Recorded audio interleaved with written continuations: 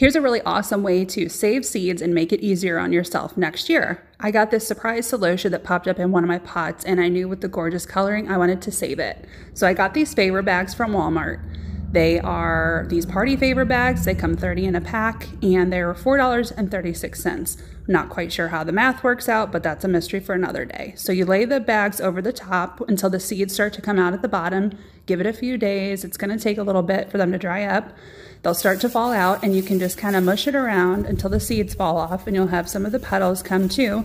But then you'll have all the seeds gathering in the bottom. You can see the little black things right there at the bottom and it makes a nice way for you to package it all up. It's all stuck in there, kind of keeps the mess to a minimum, and now you've got yourself some seeds for next year in cute little bags. You can even give them to friends and family.